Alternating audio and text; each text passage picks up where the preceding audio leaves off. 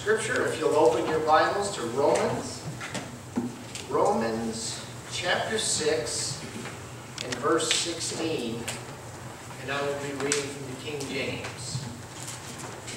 Know ye not that to whom ye yield yourselves servants to obey, his servants ye are to whom ye obey, whether of sin unto death, or of obedience unto righteousness.